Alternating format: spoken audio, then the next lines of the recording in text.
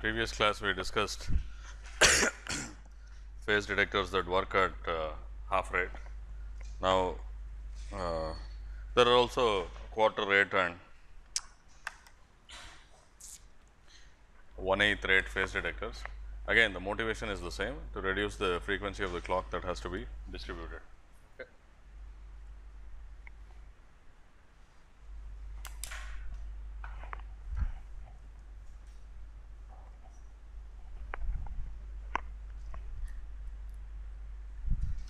So, motivation for using uh, half rate phase detector is to reduce the frequency of the clock that has to be distributed and you can take it further you can have quarter rate and maybe even one eighth of the rate and so on. Okay.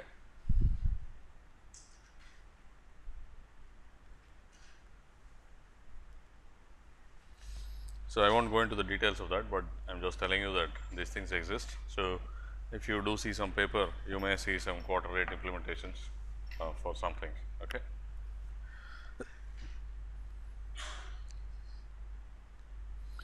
Now, we discussed VCOs to some extent not at the circuit level, but uh, just to see what the nature of phase noise is. Okay. Uh, like I uh, showed, if you imagine a delay line with an inversion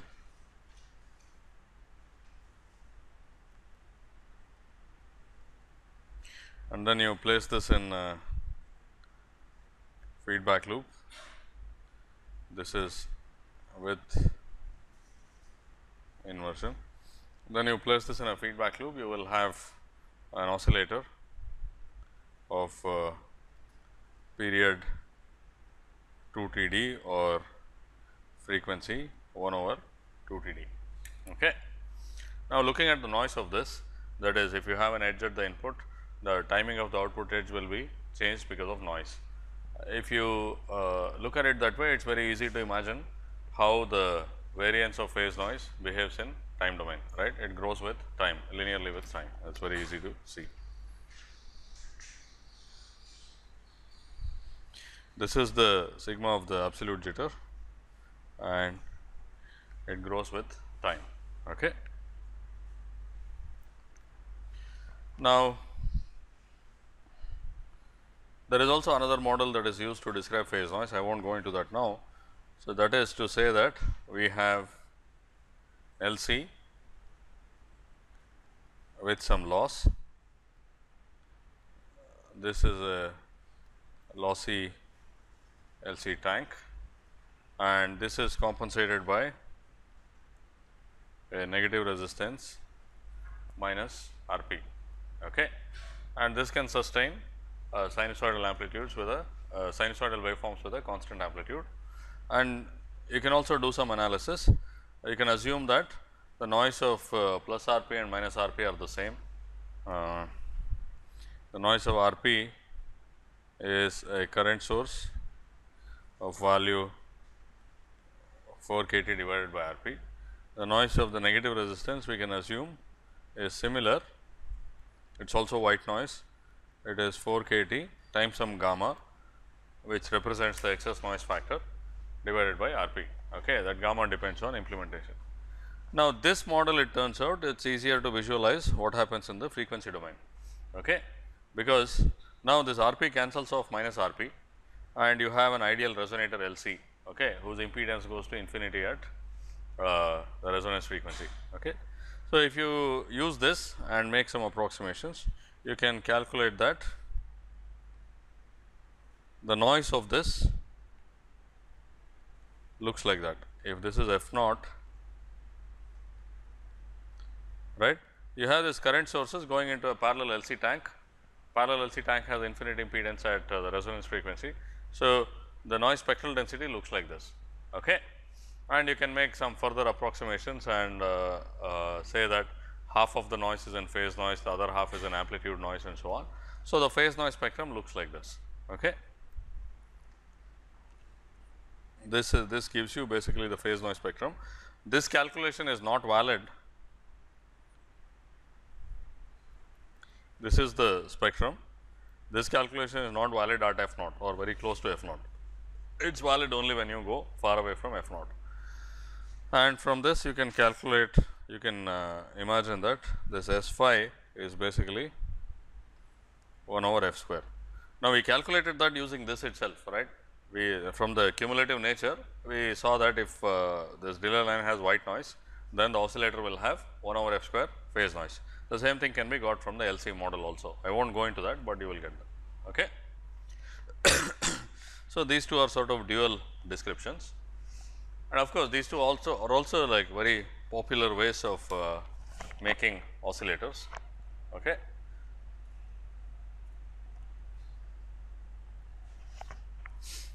Now, this it turns out this is actually a real oscillator, this is fictitious, you do not have a linear LC and R compensated by a linear negative R. In reality, whatever negative thing you compensate it with, it will have a highly nonlinear characteristic, it will look more like a current switch. Okay. And it turns out that if you do calculations with that, you will get results very close to this. So, uh, this model for preliminary explanations is okay, right. At least from this you can see that the spectrum of the voltage here across the tank, right, will have some shape like this, right, in this model. And this model itself is not valid very close to f naught, because I mean you can't have infinite power, right. We know that the oscillation will have finite power. So, but uh, that will at least tell you that you will have these uh, uh, the spectrum will have these skirts which go to uh, lower values as you move away from the resonance frequency. Is this okay?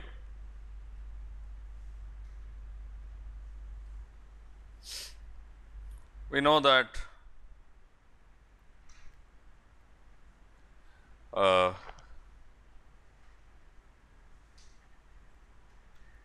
this is of the form a by f square. And when you express this as S phi of f, the phase noise spectrum, this is the double sided spectral density. And one side of that is what you consider as phase noise L of f. Okay. I mean this is just convention, but when you see uh, phase noise of some oscillator that is given, it is L of f that is given and basically the practical consequence is that to calculate jitter you have to double this L and then integrate it from 0 to infinity. Okay.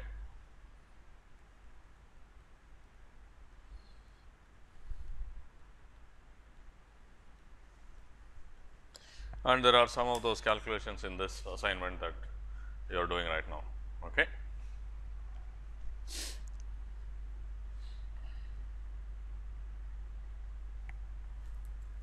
And we also saw that uh, the spectrum of the oscillator itself, okay, this is not the uh, phase noise spectrum, the spectrum of the oscillator, this is an approximation, the actual thing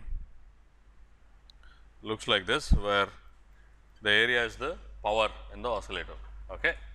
So, if you have an oscillation of amplitude uh, V p, we know that this will be V p square by 2, the mean square value. What is the spectrum?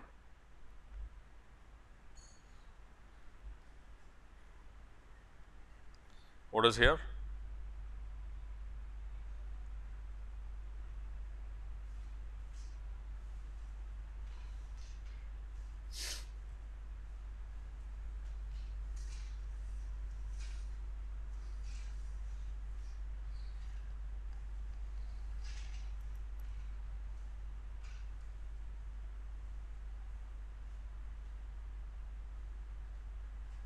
So, basically integral of S v of f from minus infinity to infinity. Okay, this we assume is one sided, uh, this is from minus infinity to infinity, this is equal to V p square by 2, right. So, what should be the scaling factor here? 2 pi f w, yeah.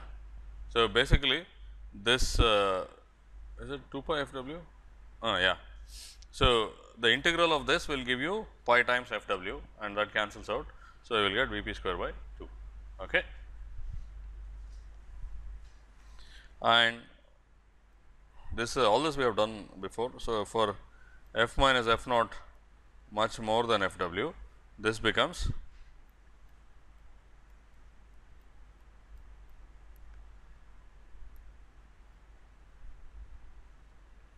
V p square by 2 2 pi f w by f minus f naught square right.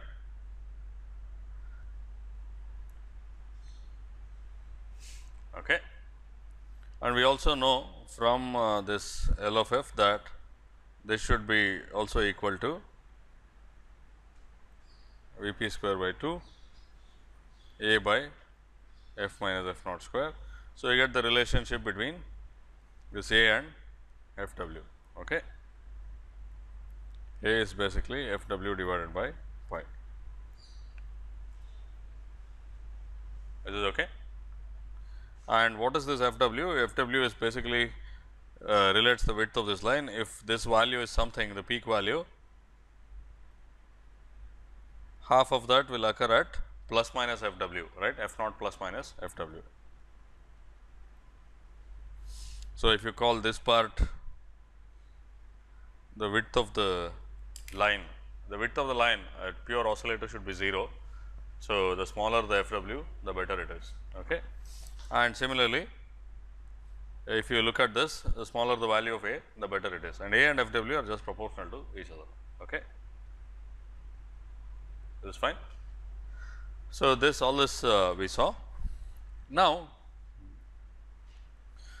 how do we actually make oscillators? Again, I will not go into detailed circuit design, because the topologies are quite simple. You can uh, simulate them and then simulate the phase noise and see that will come in one of the future assignments. So, mainly especially when uh, we are making oscillators for serial links, we use ring oscillators or LC oscillators. Okay. Now, there are also other class of oscillators like relaxation oscillators which depend on some current source charging a capacitor and the direction of the current source is reversed from time to time to give you a periodic waveform. These oscillators typically you cannot make them at very high frequencies and their phase noise performance is quite poor even poorer than ring oscillators. So, we do not use them. So, these are the, the ring oscillators and LC oscillators are the ones which uh, go to sufficiently high frequencies and uh, have acceptable phase noise. Among them uh, ring oscillators have poorer phase noise, but the advantage is that they do not have uh, passive inductors. So, they can be made very compact whereas LC oscillators have very good phase noise, but uh, they occupy a large area and they are not widely tunable. I think we discussed this discussed these things before.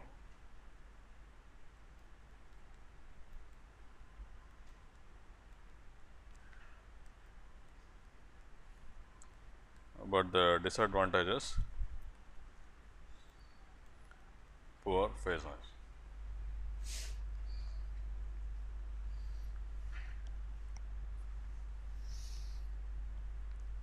And in general you make them by having odd number of inverters at least if it is a single ended oscillator this is how you make them and you can have 5 also I mean any number is fine.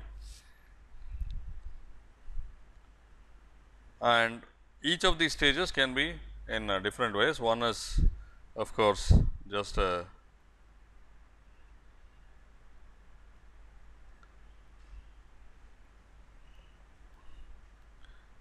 CMOS inverter.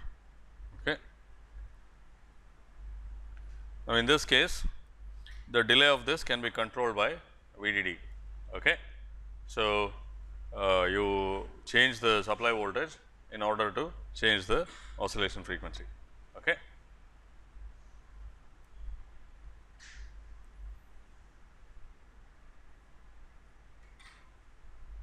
As you increase the supply voltage, the oscillation frequency increases.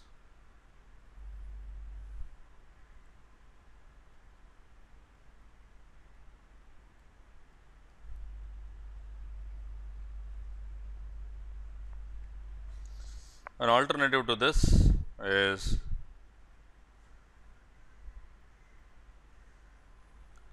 not to vary the supply voltage and sometimes this other thing has better control. So, what you do is you have the inverter structure, but you do not connect it to the supplies. Okay. Now, in this case you can see the current that can be driven from the inverter is uh, can be large, large meaning the, the highest current that can be pushed out is basically if this voltage is 0, the PMOS transistor has a source gate voltage of VDD okay, and that is the maximum current. Similarly, maximum current can that can be pulled in is if this uh, the input is at VDD, then the gate source voltage of the NMOS is at is also VDD and it can pull some amount of current. Okay. So, that gives you the maximum currents uh, from this it is basically limited by the supply voltage. Now, in this other topology what you do is you deliberately try to make try to limit that current. Okay. So, you make something like current sources of course, these will not always remain in saturation. This is the supply voltage and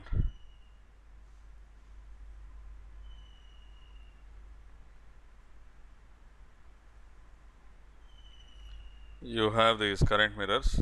Okay. If all these transistors are in saturation, then the current through them will be this I control, right, because of just the current mirroring action. Now, what does that mean? Basically, the here this is limited by VDD. I mean these things you know, I think you already made the delay line using this type of uh, structures, right. Whereas, here it is limited by this uh, current control. Okay. So, then this is the control in this case it is a current instead of V control you have I control, but that is okay that is a small that is a minor uh, uh variation. Okay and this structure is known as the current starved inverter. Okay. So, basically what happens is the maximum current that can be pushed out here is I control right and similarly maximum current that can be pulled in is I control that is when all these transistors are in saturation region this current mirror pushes a certain amount of current and that is what can be used to charge the capacitance. So, if you lower I control you will have smaller current to charge the capacitance and you will have uh, uh, you will have a smaller current to charge the capacitance and you will have a lower frequency. Okay. So, in this case we have a control current. Okay. And when you make ring oscillators using this, essentially the picture could be drawn like this. I will draw a normal inverter which just consists of two transistors and we have these PMOS current sources on top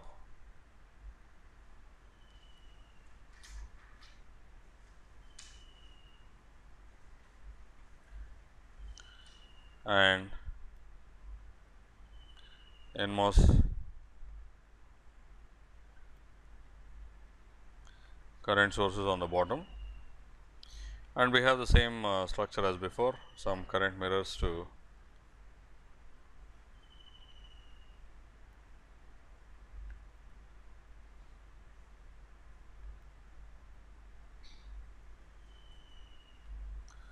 do the current mirroring and we have the ring oscillator loop. Okay.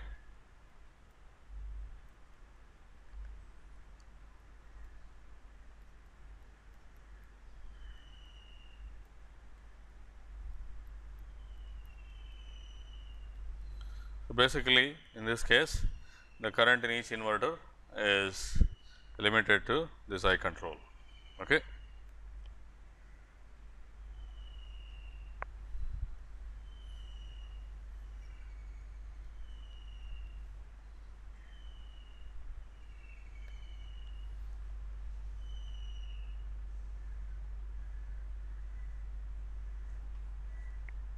This is fine. And then there is a variant of this in which these nodes are connected together. In this case basically the total current consumed by the 3 inverters is limited to 3 times I control that is all. So, they give you slightly different performances and I think the one in which uh, all of them are tied together is little more preferred. Okay. It is also a current ring oscillator.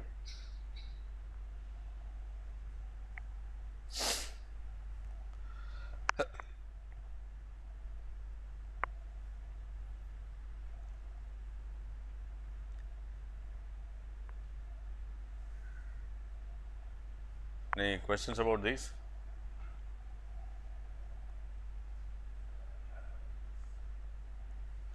Yeah, I think somehow uh, this gives slightly better performance. I have to look up exactly what it is, but uh, uh, because now it is the total current that is limited, I think this gives you better uh, performance.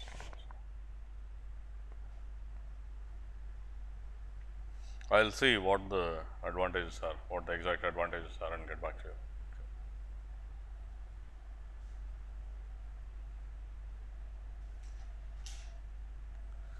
Now, sometimes you want oscillators which uh, these are all single ended oscillators right every oscillator that I drew now is a single ended oscillator. I assume you have gone through single ended and differential circuits in uh, analog IC design. So, that means that this gives you one waveform with respect to ground uh, which is the oscillation waveform. Okay. Sometimes you want a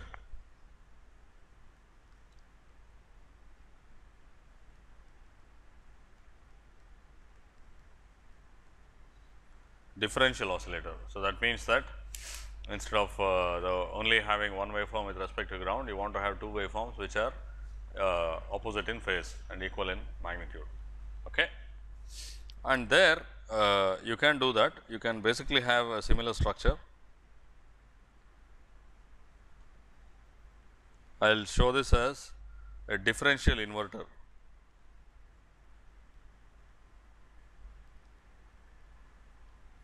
What this means is that this is if this is VIP, VIM, this is VOP, VOM. If you plot VOP minus VOM versus VIP minus VIM, it should have some inverting characteristic.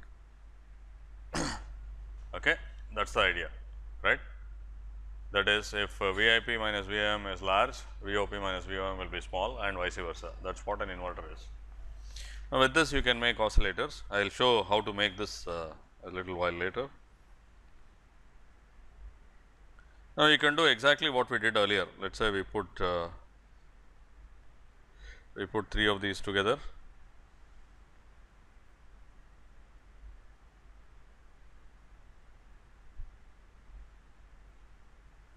and then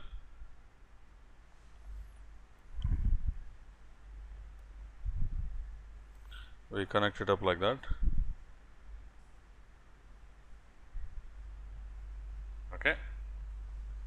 But because you have a fully differential structure, you are not restricted to an odd uh, number of stages. You can also have an even number of stages, which you can't do with a single ended inverter, right? Because an oscillator, it should have DC negative feedback, okay, so that the operating point is stabilized and it should have uh, essentially effectively positive feedback at some frequency where it oscillates. Okay.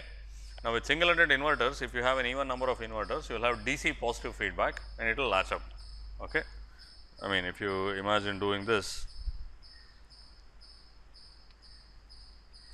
what would happen if you do this?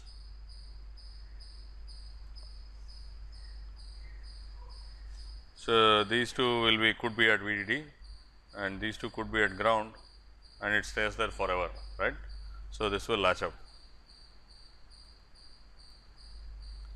But with fully differential stuff though, this is not the case, you can have it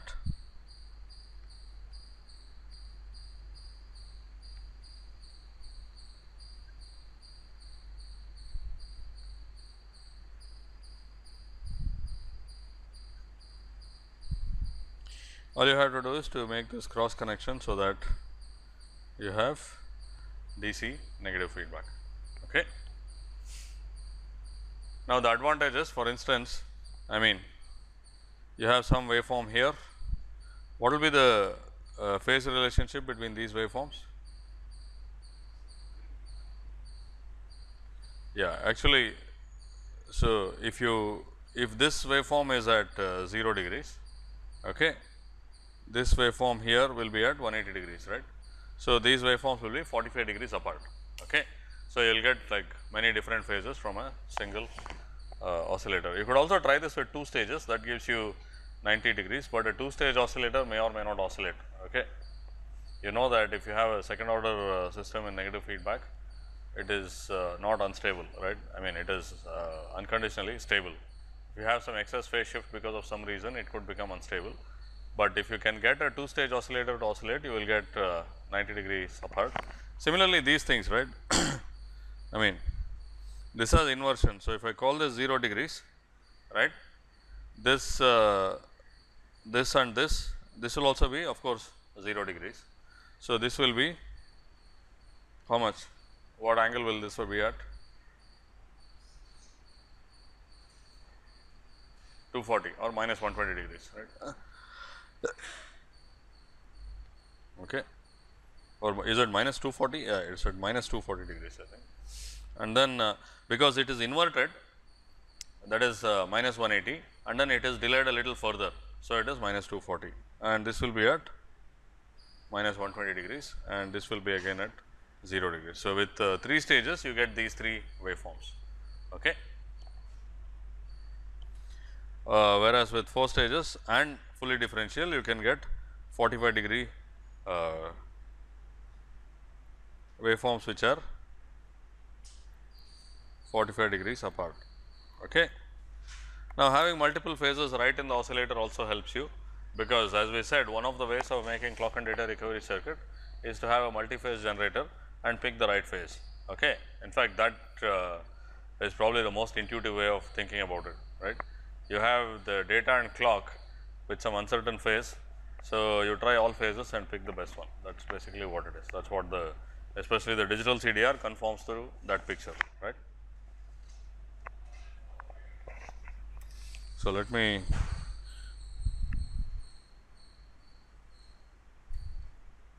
let me uh, slightly redraw this. So,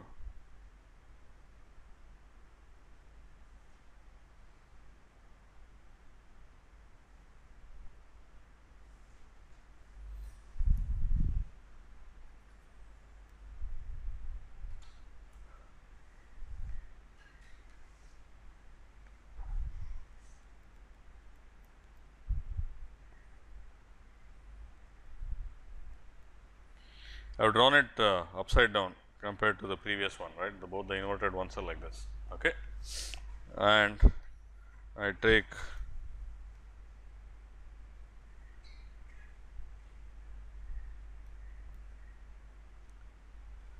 four of these together, okay. And I do this so that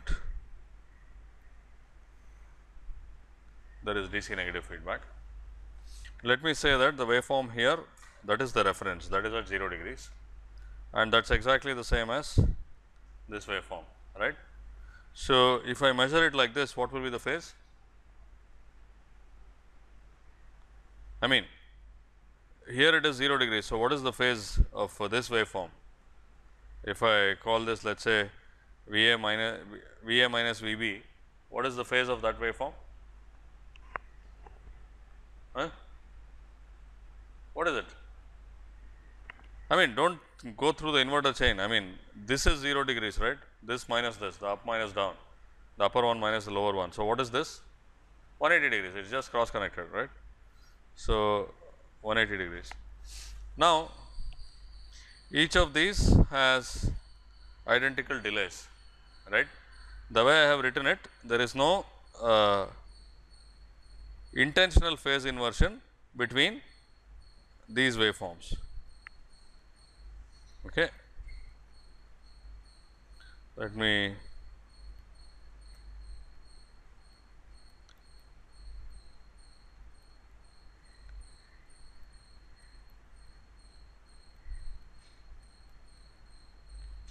if you ignore the delay of this inverter, delay of this amplifier, V2p minus V2m is in the same phase as V1p minus V1m, right, the DC gain wise they are all in the same phase, but they do have delays and they have equal delays. Okay. So, after going through 4 equal delays, you have a phase shift of 180 degrees. So, what is the phase shift due to each one? 45 degrees. So, this is 45 degrees. When I say 45 degrees, I mean that this waveform V 2 P minus V 2 M lags V 1 P minus V 1 M by 45 degrees. If I draw it in the sense of uh, phasors, it should be minus 45, minus 90, minus 135, minus 180 and then this cross connection gives you a full cycle uh, delay, right, when it comes back. Is it okay? Yeah. No, no, that is what. So, remember here this is the positive input, negative input, this is the positive output, negative output. So, with this polarity there is no inversion, it is just an amplifier. So, that is why I said I have drawn this upside down compared to the picture here. I mean this also could be done, but I mean it would be slightly more confusing everywhere you have 180 degrees hard stop that is all. Okay. Now, how do we make this differential stuff? Uh, one of the ways is to just use a differential amplifier.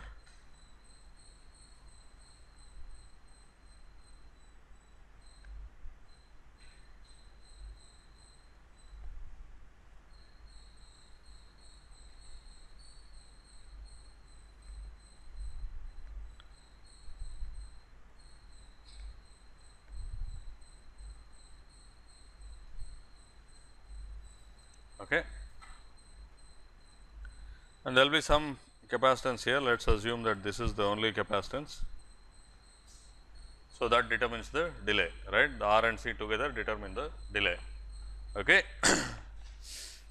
and you want the, if uh, these transistors have certain GM at the operating point, you want GMR to be large, okay, and delay of the stage is proportional to R c. Okay. So, you can do this. What is the problem with this?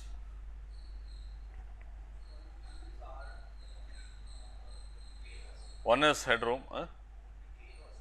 No, there will be gain. I mean, inverter also has a gain. It has to have gain, right?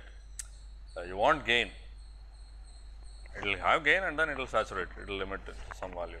So, one is of course headroom. So, this will have smaller swings than uh, an inverter, uh, an inverter based oscillator, right. The output waveform will go from 0 to VDD, whereas here it will be a small fraction of VDD. That is why actually this is not uh, favored as much as uh, uh, ring oscillators now. Now that supply voltage has come down to 1 volt, right, you do not have, you will have probably 200 millivolts of swing from this.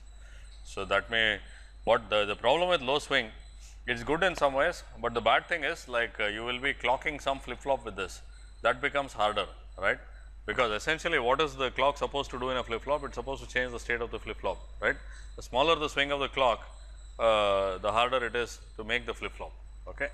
If you have very wide swing it is very easy to change it from uh, the sampling mode to the latching mode right. But uh, what is I mean we wanted a we want to use this for uh, CDR circuit. So, what kind of an oscillator will we need? I mean, we have to tune the frequency, right? How do you tune it here? Huh? Ah, why will change the frequency? I mean, you will have to do that. Basically, what happens is you have to change the RC time constant also. So, what you need is basically you will end up using a PMOS in triode region and you will change the bias current.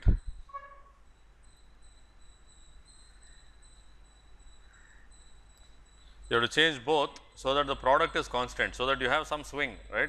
Otherwise, if you make R small, the swing becomes very small, it may not even oscillate if the gain becomes small. Okay.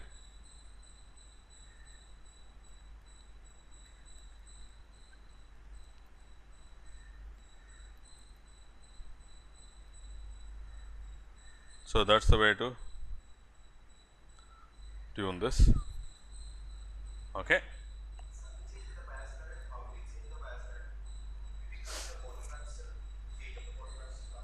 Yeah, you have you can have a current mirror and then have a control current, right?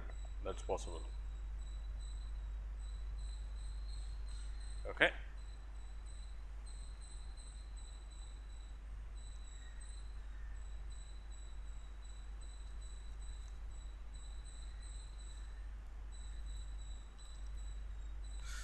Now, uh,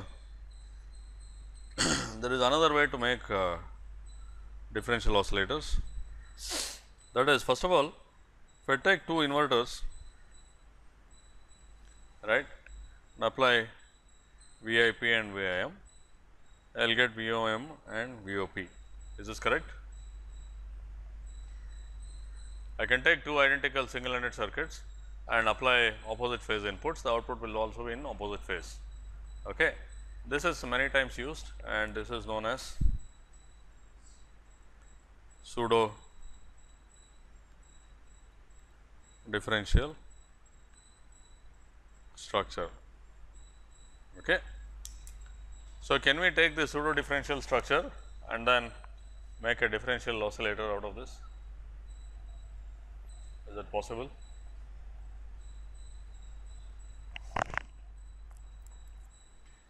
So, let us say we do this a 3 stage oscillator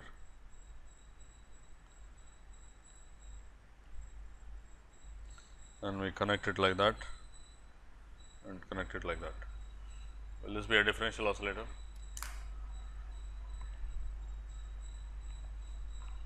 Will this be a differential oscillator or not?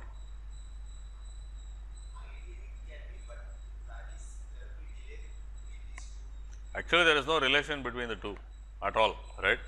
There is no telling if it starts up. Uh, first of all, I mean, even ignoring mismatch, let us say they do oscillate at exactly the same frequency. Even then, there is no uh, fixed phase relationship between these two. Okay? So, this of course, cannot be used at all. So, what you have to do is to you have to add circuits to force these waveforms to be opposite phase and that is done by adding inverters like this. If you have this, then this and that have to be in opposite phase, right. So,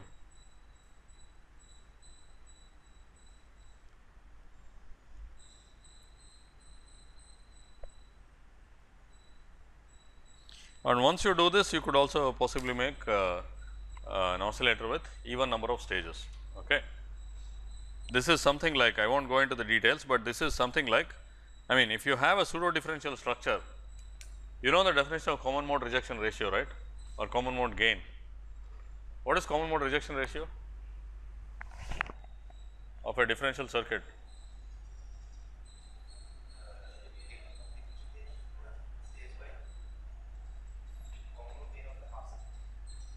Uh, differential gain divided by common mode gain.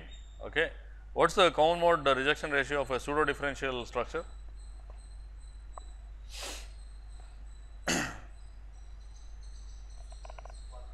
It is 1 right because the common mode gain is the same as differential gain it does not differentiate between the two. If VIP and VIM happen to be in the same phase and the same magnitude VOP and VIM will also be in the same phase and same magnitude. Okay. So, this has no way of telling whether the input is actually fully differential the two circuits are obviously separated. So, this uh, structure uh, these two inverters uh, this latch like structure right this can be thought of as providing common mode rejection okay, common mode rejection to this.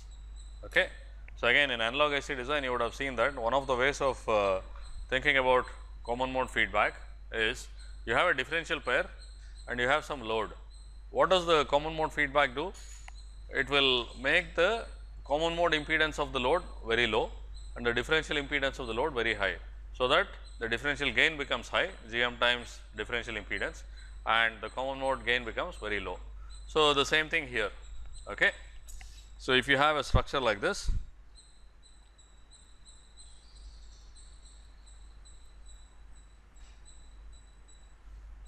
okay. if you try to raise both these voltages by equal amounts, it draws a lot of current. So, it corresponds to a small impedance.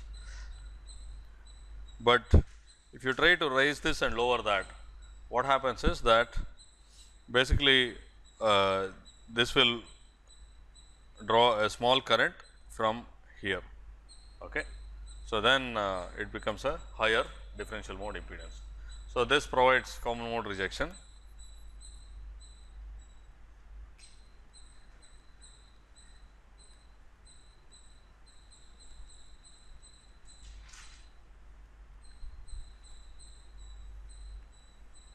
Okay. And it forces oscillations in differential mode. Okay. And this now, uh, this is again like regular inverter based stuff. You can either have voltage controlled inverters, meaning inverters controlled by its supply voltage or current starved inverters, either one can be done. Okay. Now, basically because of limited supply these days, right, you will, uh, I mean these inverter based structures are uh, preferred. Okay.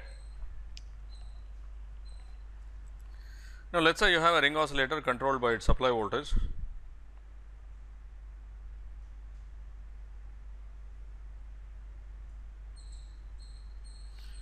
something like this and the output of this has to drive whatever let us say the phase detector the flip flops in the phase detector.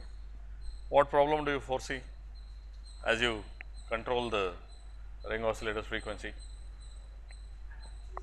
The oscillation amplitude is the same as the supply voltage right. So, as you lower the frequency the oscillation amplitude also reduces. So, this is a problem okay. So, typically you need a buffer after this So, if I call this V control, uh, so let me call that as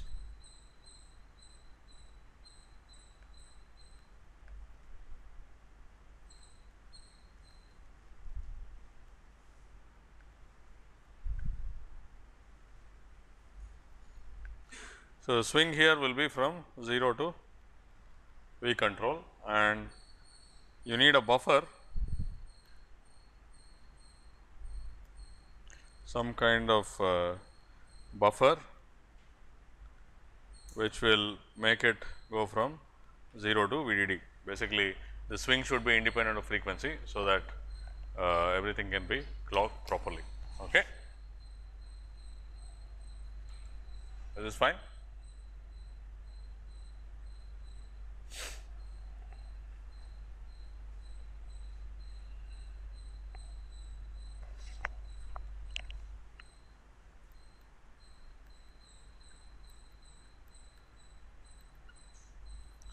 So, that is a very quick uh, treatment of ring oscillators. Uh, again a lot of this is optimized by simulations and so on and there are some uh, enhanced versions of ring oscillators, but I will not go into that the vanilla versions work uh, quite well. Okay. So, now of course, there may be some optimization in uh, phase noise and other things to be done. Okay. Those things can be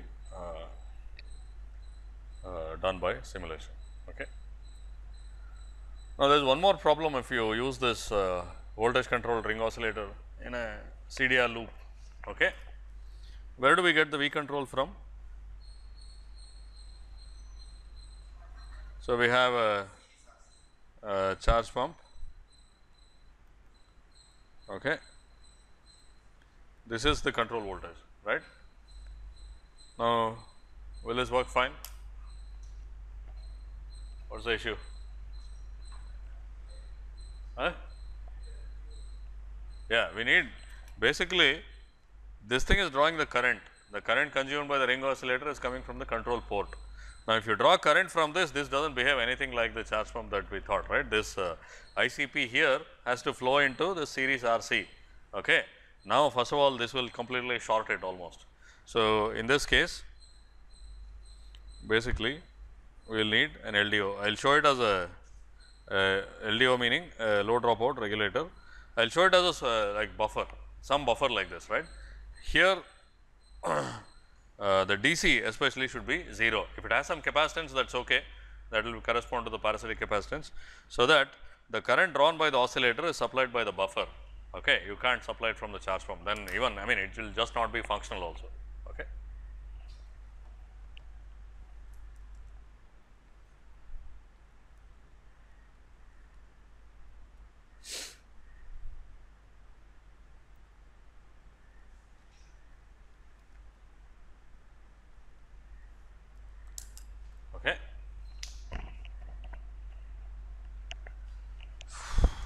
So, that is uh, part of it. So, that also I mean means that any noise from this right that will also affect the phase noise of the VCO okay because First of all, in general, you have the control port of the VCO. What is the control port doing? If you change its voltage, the frequency will change.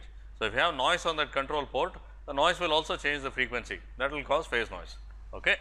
So, that is why if you have a very high KVCO that means that a small change in the control voltage gives you a large change in frequency. This is also a very risky thing as far as noise is concerned because any noise that is coupling into that right. Besides this is besides the inherent phase noise of the oscillator. If you drive the uh, control port with a very clean I mean 0 noise voltage source it may give you very good phase noise. But because KVCO is very high a small amount of noise on the control port can give you a large amount of phase noise. Okay. So, in general I mean, but this is a, a sort of universal problem. If you have a high gain system, high gain by definition means very high sensitivity to the input, right. A small change in the input can cause a large change in the output that is the definition of high gain.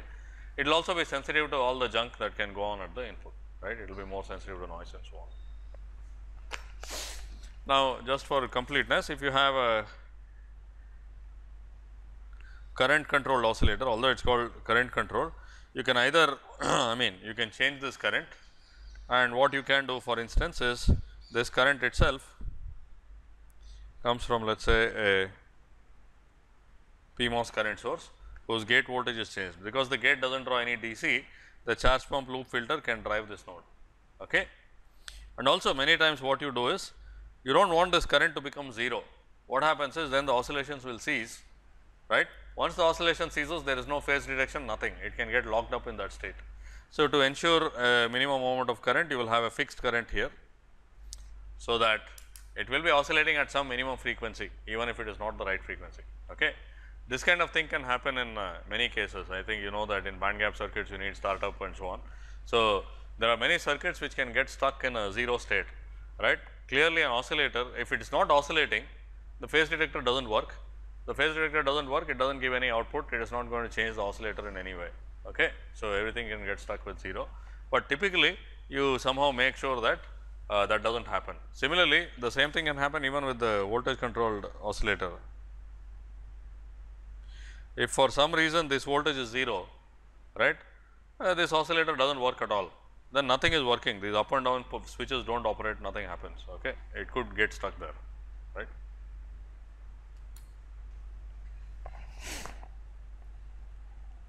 Any questions about any of these things? So, we will look at uh, fundamental uh, sort of limits on uh, phase noise of uh, ring oscillators in the next class and also look at LC oscillators. Okay.